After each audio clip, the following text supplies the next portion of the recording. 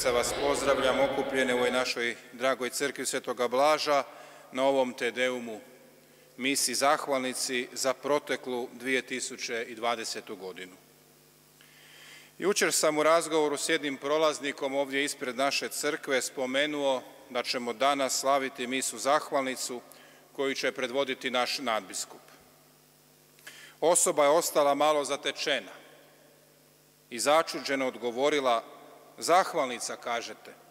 Teško mi je to razumijeti nakon ovakve godine. No, imamo doista mnogo razloga biti zahvalni gospodinu, jer nam je u svim trenucima koje smo proživjeli i još proživljavamo bio doista jako blizu. Naročito proteklih dana u kojima u užasu potresa svjedočimo neizmjernoj dobroti i ljubavi čovjeka prema čovjeku. Uzoriti radosni smo što ste s nama. Neka nam ovo zajedništvo pred gospodinom svima ispuni srce Božijom toplinom, nadom i milosrđem.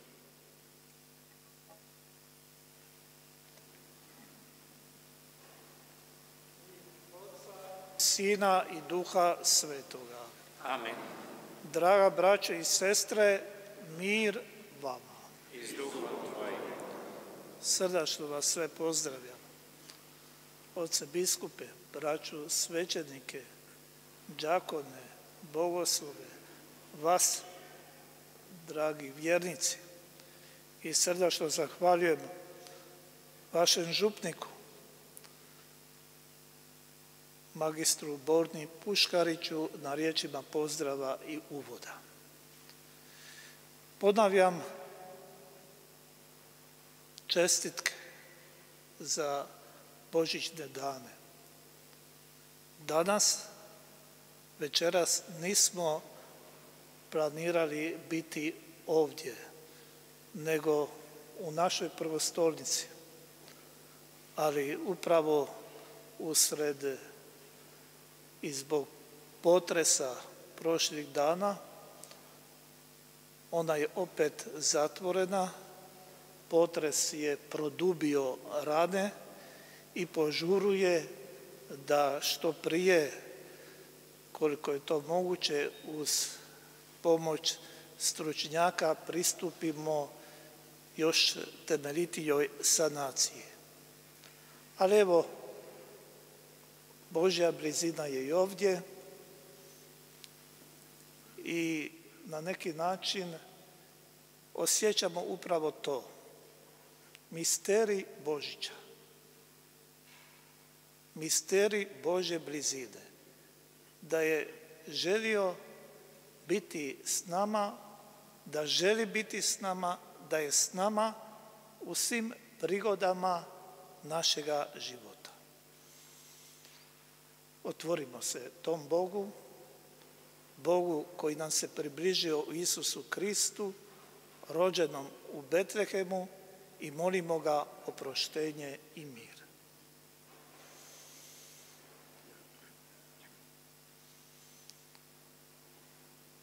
Ispovjedam se. Bogu braću, da se griješi dobro mnogo i nižu griješi u djelom i propustu. Moj grijeh, moj grijeh, Moj preveliki grijeh, zato molim blaženu Mariju Vaza Djevicu, sve anđele i svete i vas, braćo, da se molite za me, Smilovao nam se svemogući Bog, oprostio nam grijehe naše i priveo nas u život vječni.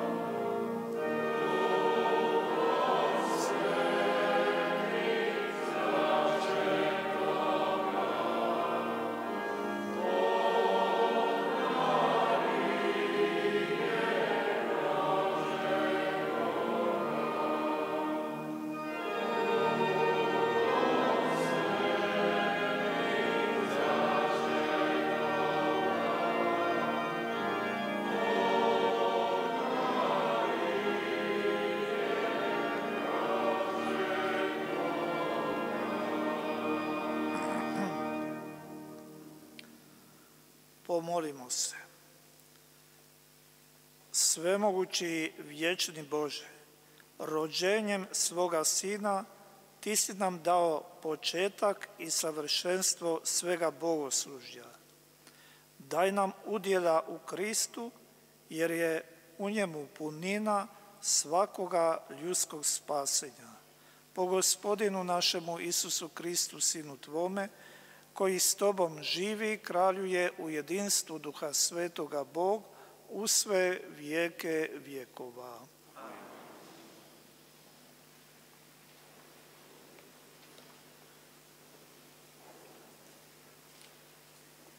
Čitanje prve poslanice Svetog Ivana Apostola.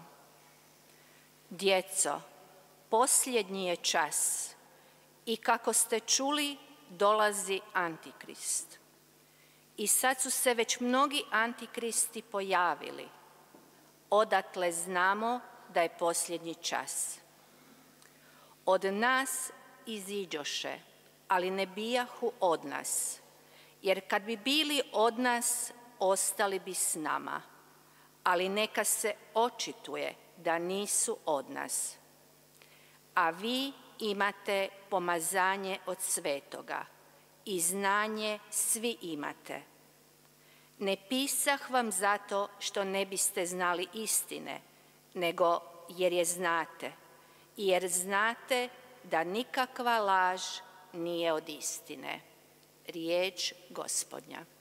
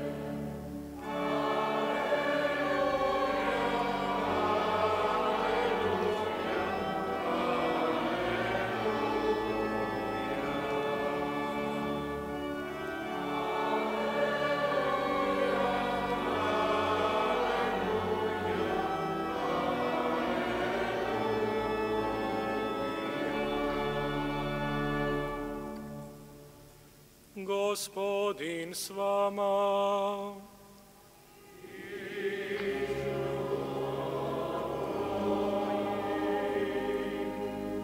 Početak svetog evanđelja po Ivanu.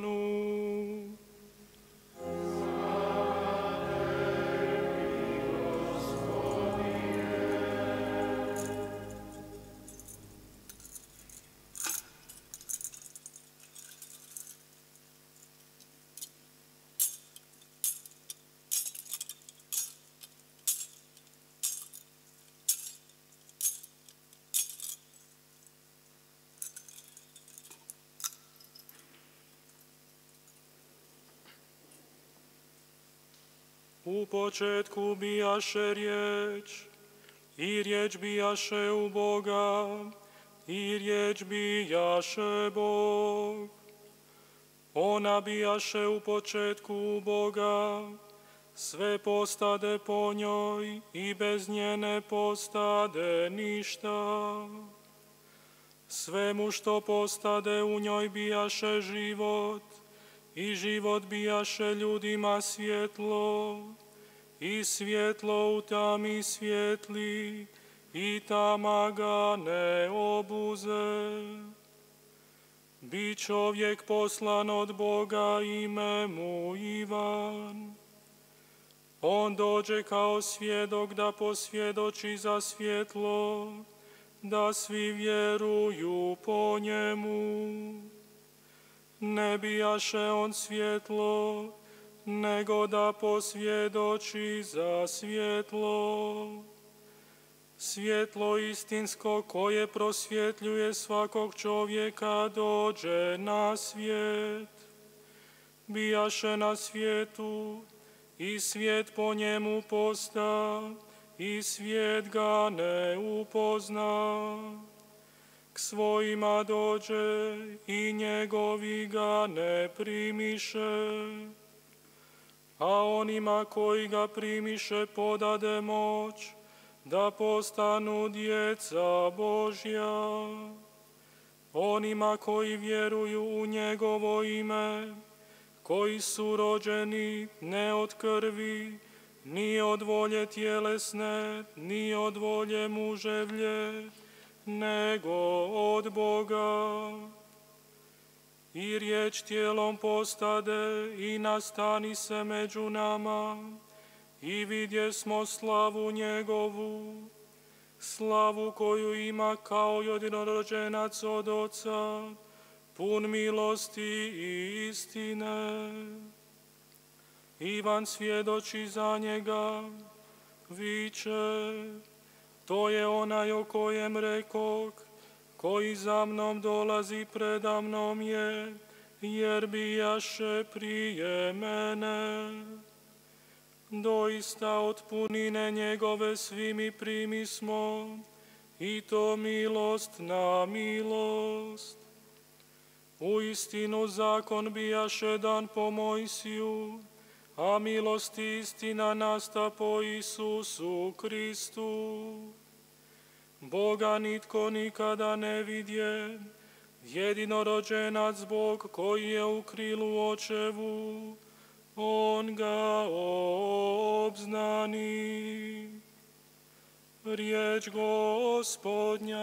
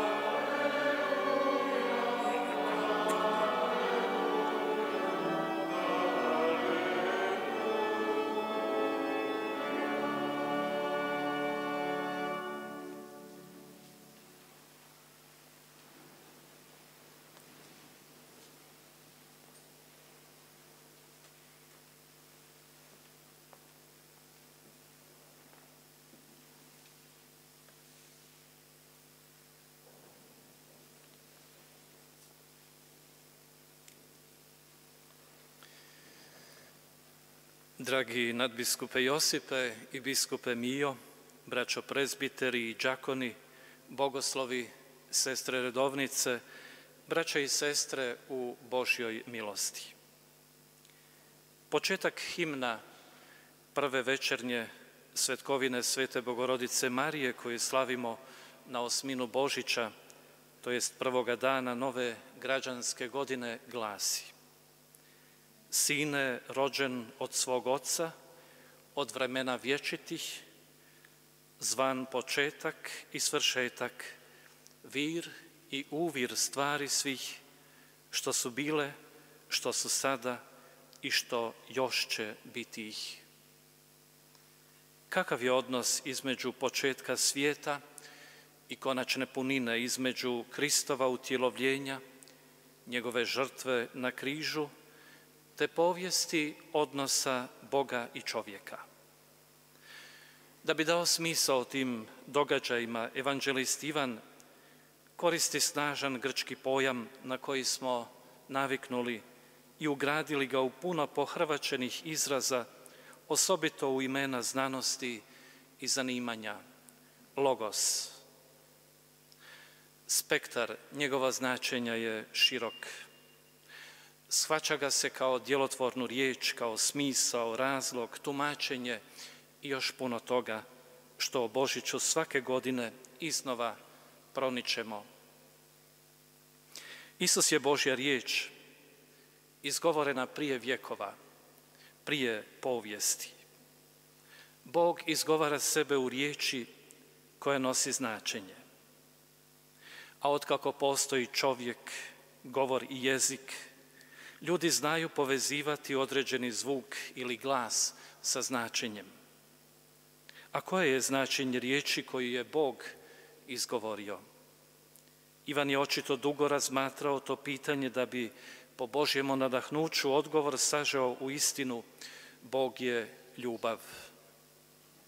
Izgovorena Božja riječ od početka jest ljubav. Ona je istoznačnica kojom u proslovu možemo zamijeniti riječ. Sve postade po ljubavi i bez nje ne postade ništa. Započeti smo Začeti smo i postojimo zbog i radi ljubavi i naš je završetak u ljubavi. Između toga prolazi istodobno i uzvišenost i tragičnost ljudskih života i svijeta. No budući da tu riječ ljudi nisu razumjeli, Bog nam svoju riječ daruje utjelovljenu da bude vidljiva, čujna, opipljiva. I premda čovjek ni to ne razumije, Bog ostaje vjeran i svoju riječ, svoga sina šalje da ide do kraja.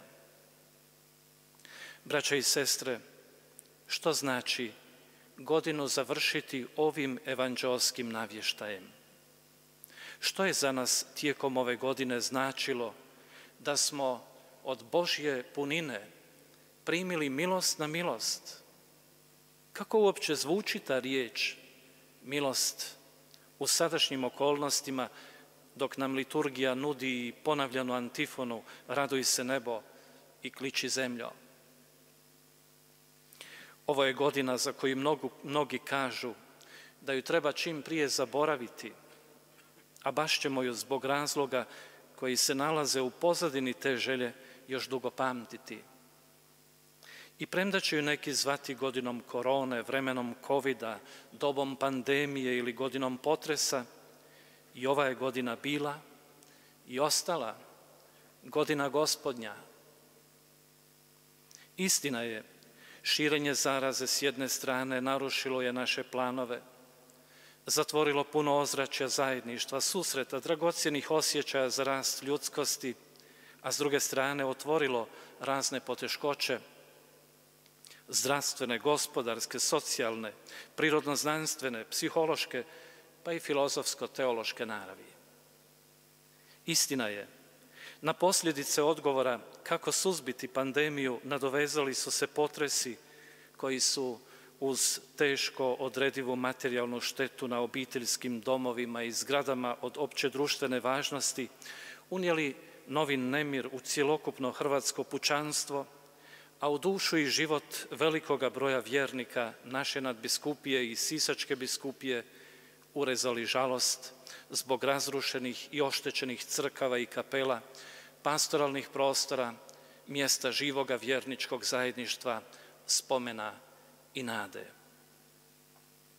Uza sve to, ove večeri, mi zahvaljujemo. Činimo to osobno, pojedinačno i zajedno, povezani s vjernicima koji s nama mole, preporučujući gospodinu ljude koji su iskušavani smrću najbližih i drugim stradanjima. Mudra je misao koja prepoznaje da je zahvalnost uvijek veća od boli. Ako smo malo, premalo zahvalni, ne znači da smo primili malo, nego najčešće ne prepoznajemo darove koje primamo. Miješamo ih s nekim svojim pravom, zaslugom, vlasništvom, a najgore je pomisliti da nas je Bog napustio. I nije čudno da se upravo u događajima velikoga trpljenja rađaju iskustva iskrene pobožnosti ili pak osjećaj ostavljenosti i beznadnosti do odbacivanja Boga. Nije ni ovih dana nemoguće naslutiti toliko puta ponavljana pitanja nama vjernicima. Kakav je Bog ljubavi koji dopušta da nevini trpe? Gdje je Bog u koga vjerujete? Zar i sami ne otkrivamo nesklad u kojemu smo očekivali jedno, a dogodilo se drugo? Kada se život oblikuje kao potvrđivanje naših očekivanja, u nama raste gorčina. Tko pak gleda budućnost u nadi i radi nošen nadom, raduje se svemu što ima i što jest. Kako nas podsjeća poslanica Hebrajima, u življenju ne budite srebroljubci, zadovoljni onim što imate, ta on je rekao, ne, neću te zapustiti i neću te ostaviti. Na svakome završetku i na početku učimo da je zadovoljstvo otkrivanje vrijednosti koje imamo i vedro traženje onoga što koristi drugima. Tim pristupom malo kruha može nasititi mnoštvo. Ako se dijeli, na izgled premalo postaje obiljem.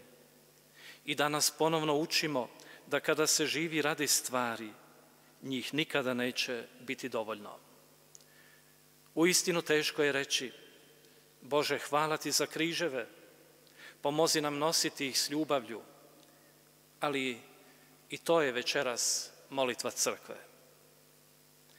Uz puno toga što se u njoj može istaknuti, ova je godina sa svim svojim opterećenjima bila vrijeme iznimnih duhovnih vježba. Ako bismo morali ovu godinu označiti s dvije slike iz redovitoga života, koje bi izvanjski asocirale na epidemiju i potres, to bi svakako moglo biti lice pokriveno maskom i građevinska skela koja se privija uz ranjene zidove, misleći pritom ponajprije na onu najveću u našoj prvostolnici. Ne ulazeći u druga pitanja koja mogu biti postavljena o epidemiji, o njezinu prevladavanju, zadržavam se samo na slikama koje smatram dobrim poticajem za duhovno razmišljanje. Dok čeznemo za blizinom i za puninom lica svojih bližnjih, postali smo osjetljiviji na govor očiju i na naslučivanje je li ispod maske osmijeh ili neko drugo prekriveno raspoloženje.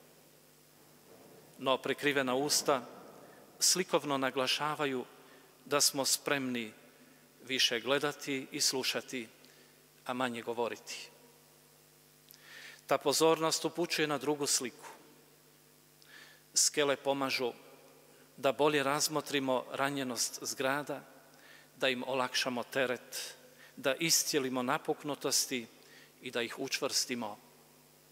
I još je nešto važno. Njihova je namjena privremena.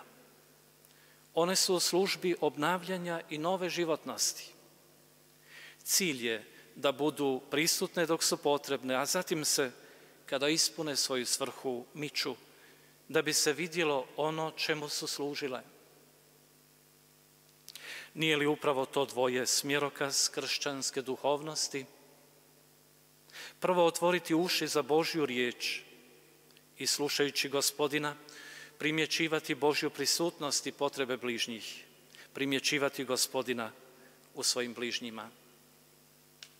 Znamo koliko nam je potrebna prava riječ, vjernički govor crkve, ali zato je najprije potrebno slušati, slušati riječ, onu koja je od početka, da bismo mogli uputiti svoju riječ. Drugo, poput Marije i Josipa, nakon slušanja i prebiranja riječi, vršiti ju svojom prisutnošću, brižnošću i ljubavlju, svojom potporom i zatim odmakom, da bi se vidio Krist i sve što On preobražava i što čini novim. Zar to ne živimo ovih mjeseci po liječnicima i ostalom medicinskom osoblju i njegovateljima koji su spremni prihvatiti neprepoznatljivost da bi se darovali bližnjima? Zar to ne vidimo ovih potresnih dana u predivnome odgovoru hrvatskih ljudi koji pokazuju da je isto plemenito srce u Hrvatskoj i izvan nje. Srce koje kuca jače kada krvari. Braće i sestre, za svibanj ove godine u Zagrebu smo pripremali susret Hrvatske katoličke mladeži pod sloganom što god vam rekne, učinite. Usuđujem se reći da se dio toga slavlja slavi upravo ovih dana, kada su mladi pohitali prema Banovini, osjećajući da su potrebni drugima i da mogu pomoći. Gospodin im je progovorio u srcu, pozvao ih u župama, molitvenim zajednicama, udrugama, a oni su odgovorili na najljepši način. Zar i to nije veliki razlog večerašnje zahvale?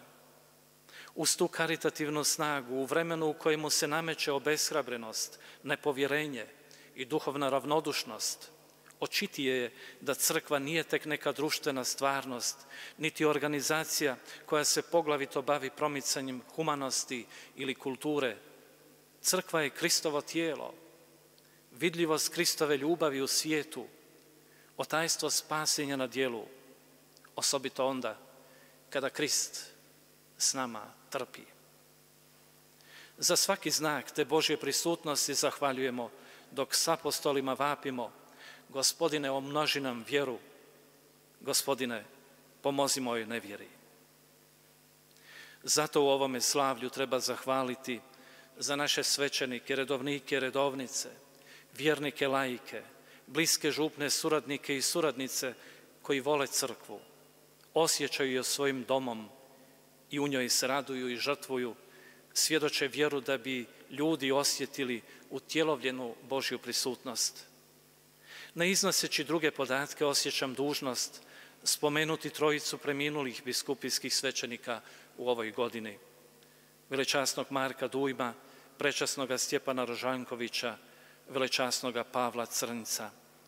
Osim njih, preminulo je 13 svećenika redovnika prisutnih u nadbiskupiji.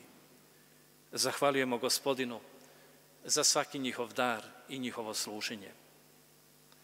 Zahvala se proteže i na nove ređenike, među kojima je u Zagrebačkoj nadbiskupiji pet novozaređenih biskupijskih svećenika i šest džakona, te petnaest svećenika redovnika i tri džakona. Znakovito je i to što smo slavlja reženja slavili u dragome nam svetištu Majke Bože Bistričke. Dragi vjernici, rijetko će koja slika u povijesti crkve biti pamćena kao slika pape Franje na trgu Svetoga Petra 27. ožujka ove godine, kada su se s papinim molitvenim korakom i glasom miješale kišne kapi i krik galebova, a velebni je prostor izgledao pust. Kažem izgledao, jer je tada trg bio najnapučeniji. Nikada tamo nije bilo toliko prisutnosti i molitve svijet ujedinjen u jednoj gesti traženja odgovora i pouzdanja u Boga.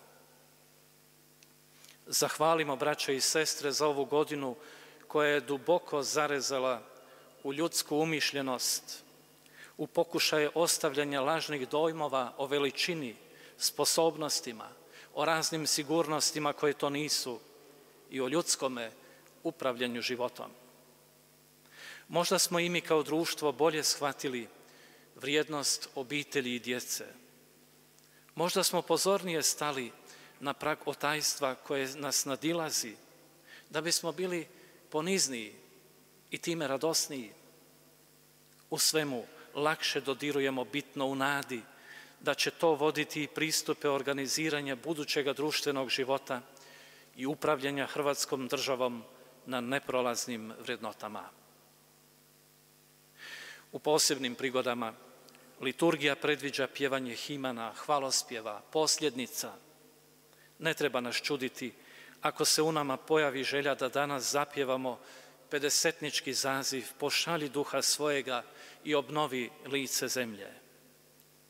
Svaka istinska obnova i duhovna i materijalna kreće od osjetljivosti prema bližnjima, opraštanjem koje ponovno gradi što grijeh razara, ljubavlju koja oplemenjuje sve što je ravnodušnost zapustila. Obnova započinje kada se ne dopuštamo naviknuti na zlo, niti prihvatiti razmišljanje da me se ne tiče ono što pogađa druge. Kako ne čuti apostolove riječi? Ne budite nerazumni, nego shvatite što je volja gospodnja. Pjevajte i slavite gospodina u svome srcu, svakda i za sve. Zahvaljujte Bogu i Otcu imenu gospodina našega Isusa Krista. Dok u srcu čeznemo za darovima duha, večerašnje slavlje nudi nam drugih iman, duboko kršćanski, izrastao iz vjera i nošen iskrenom nadom. Tebe, Boga, hvalimo.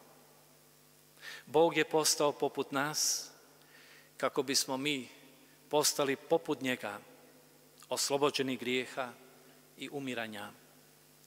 Nije li to dovoljan razlog za uzdizanje naše hvale Bogu?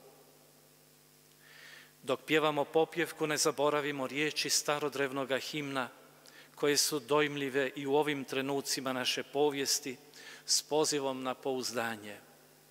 Spasi puk svoj gospodine i blagoslovi baštinu svoju. Nek bude milosrđe Tvoje nad nama kao što se u Tebe uzdamo. A Himan završava riječima koje je blaženi Alojzije Stepinac usvojio za svoje življenje u vremenu. U Tebe se, gospodine, uzdam, o, da ne budem postiđen do vijeka. Braće i sestre, ohrabreni i tim darom, slavimo u crkvi posvećenoj drugom mučeniku, svetomu Blažu. Danas smo ovdje za oltarom kao zajednica iznad koje na nedavno postavljenim vitrajima s jedne strane piše oni koji si u suzama žanju u pjesmi. Čvrsto vjerujemo da je tako. A oltar, oltar je i sjetva i žetva, Boži dar na koji se prinosi zrnje naših života i blaguje kruh vječnosti. Gospodine, pogledaj svoj ispačeni narod. Ponizno te molimo, vrati nam radost svoga lica. Amen.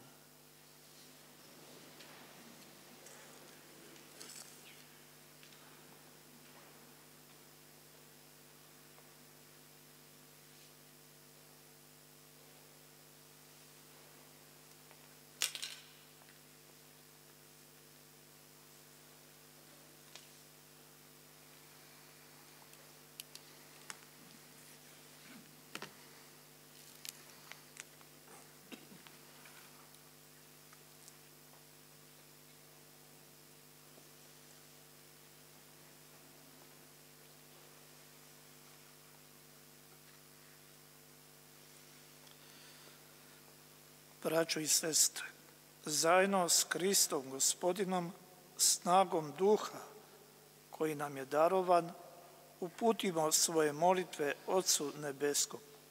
i molimo zajedno. Gospodine, usliši nas. Budi, gospodine, svojoj crkvi svjetlo na putu kroz svijet, da unatoč brojnim protivštinama hrabro i svjedočanski navješta Tvoje spasenje, darovano po Kristovu križu, molimo Te. Mudrošću Duha Svetoga prati, gospodine, papu našega Franju, nadbiskupa Josipa i sve pastire crkve, da proročkom hrabrošću navještaju istinu evanđelja i radosnim se služenjem zalažu za spasenje svih ljudi. Molimo te. Oče, želio si da se tvoj sin rodi, odrasta i sazrijeva u nazaretskoj obitelji.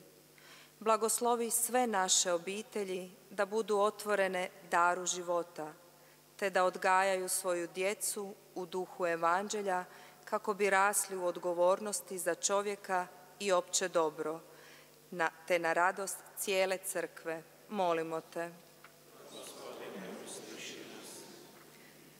Gospodine, pomozi našoj braći i sestrama stradalima uslijed razornog potresa u našoj Zagrebačkoj nadbiskupiji i u gradovima Sisačke biskupije.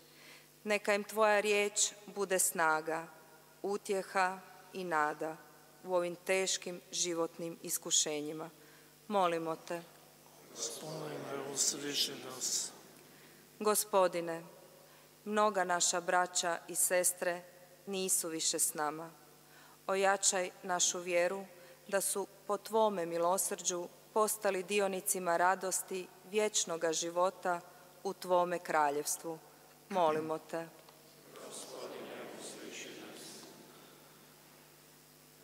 Svemogući vječni Bože, po svome si Sinu pomirio svijet. Primi naše molitve i daj da pomireni jedni s drugima izgrađujemo Tvoje kraljevstvo po Kristu, gospodinu našemu.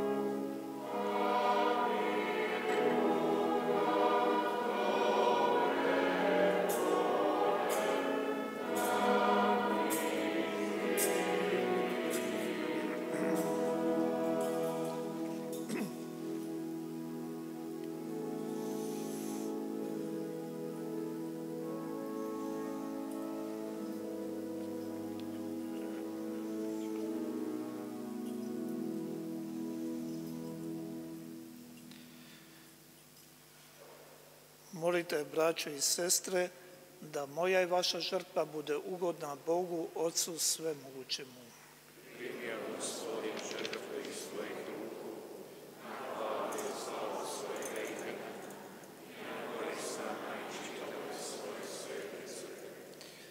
Bože, izvore prave pobožnosti i mira, molimo da te ovim prinosom iskreno štujemo, a pričešću Tvoga otajstva dostignemo međusobnu slogu i jedinstvo. Po Kristu, gospodinu našemu. Gospodin s vama. Gore srca. Hvalu dajmo gospodinu Bogu našemu. U istinu je dostojno i pravedno, pravo i spasonosno da vas da i svakdje zahvaljujemo Tebi, Gospodine sveti oče svemogući vječni Bože, jer je po tajne utjelovljene riječi očima naše duše sinulo novo svjetlo Tvoje slave. Dok u božićnom djetetu spoznajemo Boga, budi se u nama čežnja za nebeskim dobrima. I stoga, s anđelima i arkanđelima, s prijestolima i gospodstvima i sa svom nebeskom vojskom pjesmu Tvoje slave pjevamo bez prestanka.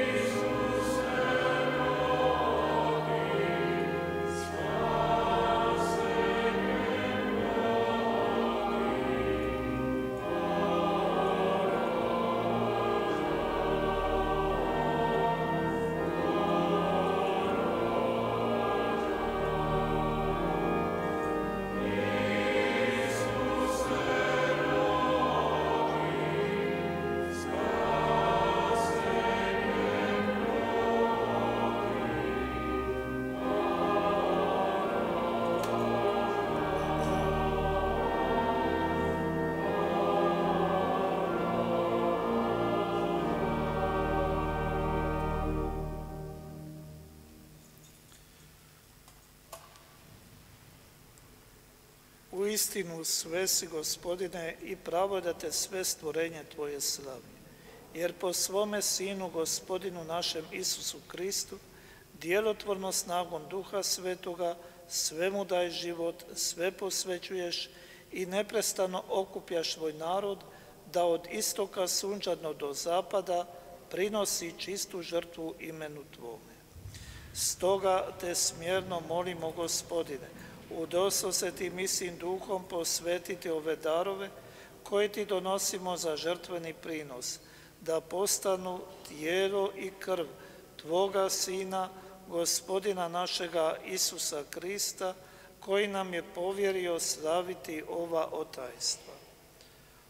One noći kad je bio predan, on uze kruh, tebi zahvali, tebe blagoslovi, razlomi kruh i dade ga učenicima svojim govoreći.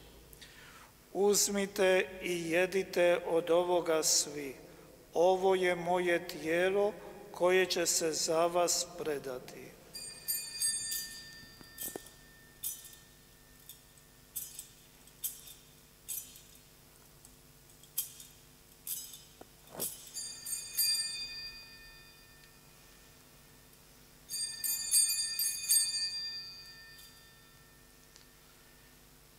Isto tako, pošto večeraše uze kalež, tebi zahvali, tebe blagoslovi i dade učenicima svojim govoreći. Uzmite i pite iz njega svi. Ovo je kalež moje krvi, novoga i vječnoga saveza, koja će se proliti za vas i za sve ljude na otpuštenje grijeha. Ovo činite meni na spomen.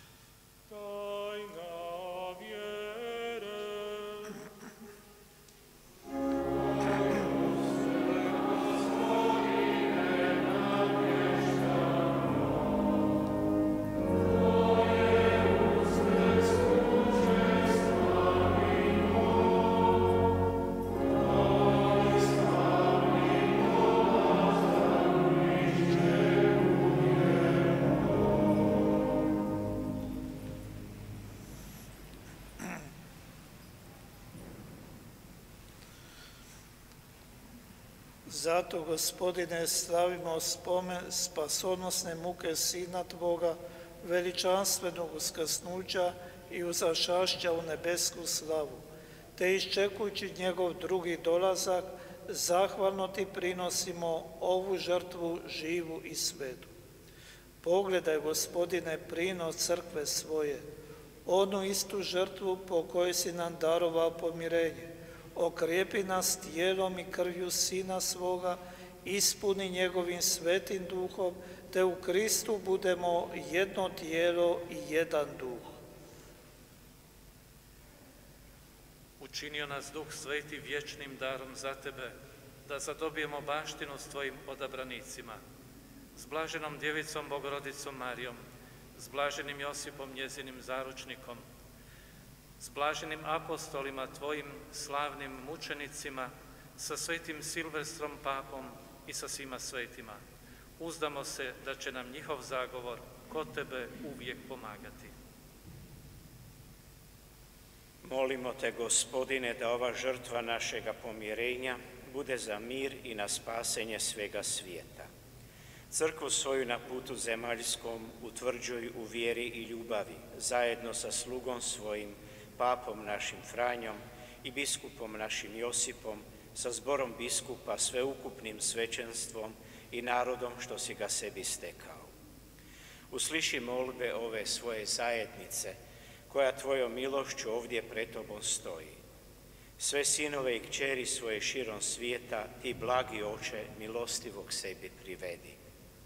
Našu pokojnu braću i sestre i sve koji u tvojoj ljubavi prijeđoše s ovoga svijeta, dobrostivo primi u svoje kraljevstvo, gdje se i mi nadamo zajedno s njima vječno uživati u tvojoj slavi po Kristu našem gospodinu, po kojemu sva dobra svijetu daješ. po Kristu i s Kristom i u Kristu. Tebi, Bogu Otcu svemogućemu, u jedinstvu Duha Svetoga, svaka čast i slava u sve vijeke vjekova.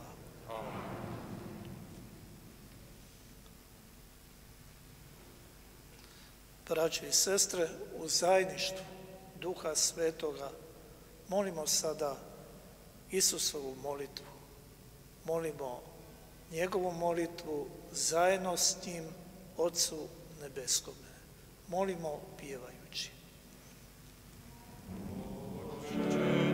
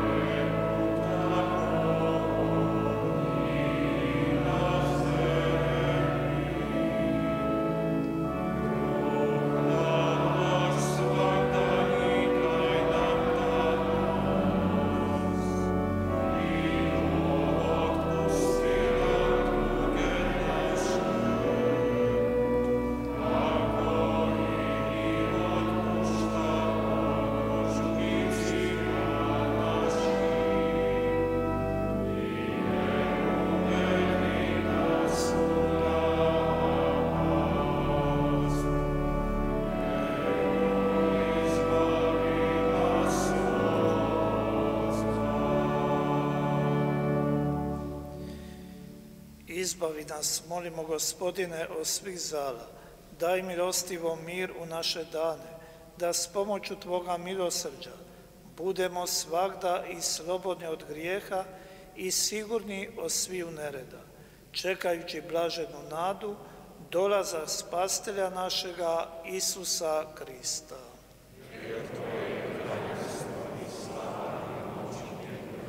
Gospodine Isuse Kriste, Ti si rekao svojim apostolima, mir vam ostavljam, mir vam svoj dajem.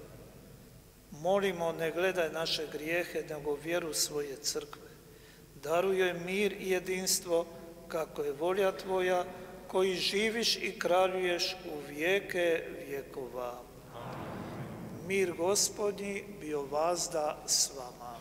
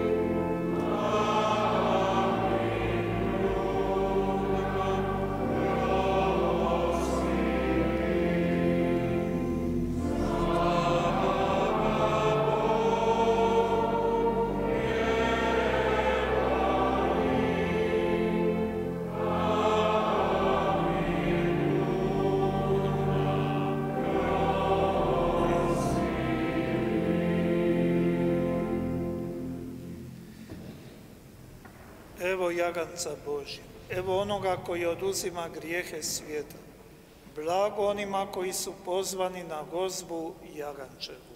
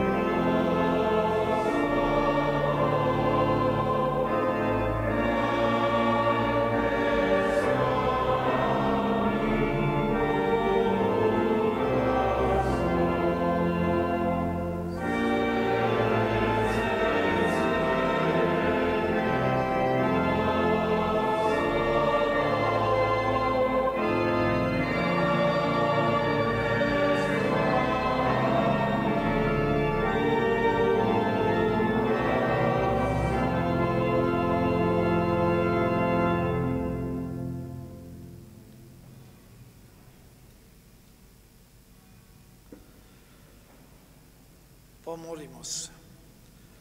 Gospodine, svojom providnošću upravljaj ovim narodom. Budi mu potpora u sadašnjosti i budućnosti. Ispuni ga utjehom koja mu je potrebna u nepostojanom tijeku ovoga svijeta, da s većim pouzdanjem teži za vječnim dobrima. Po Kristu, gospodinu našemu.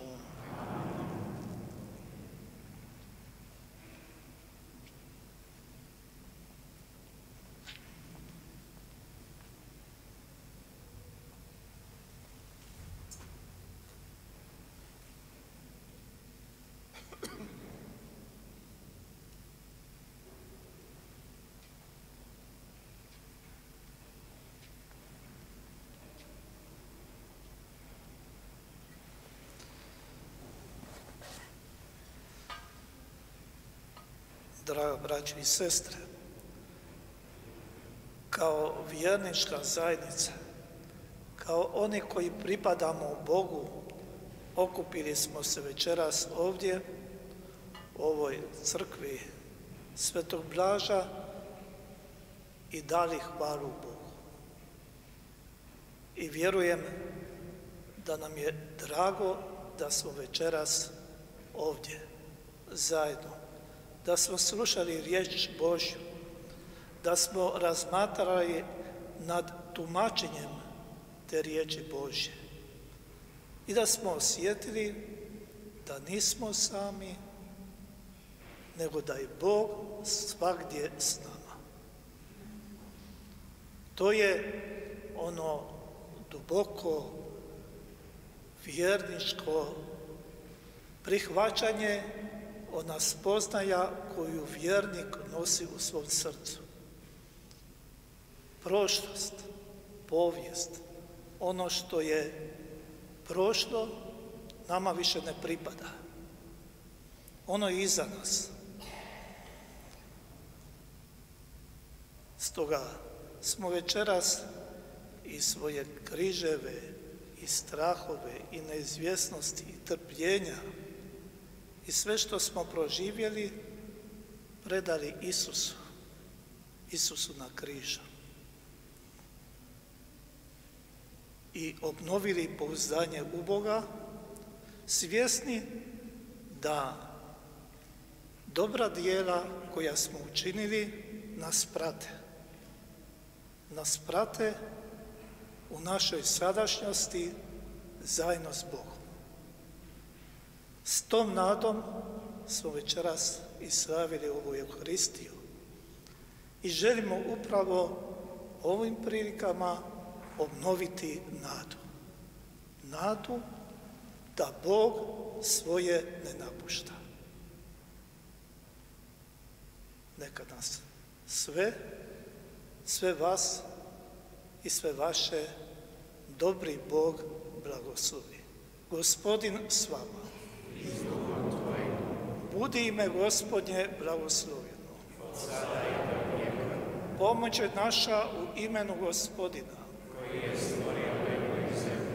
Blagoslovio nas svemogući Bog, Otac i Sin i Duh Sveti. Amen.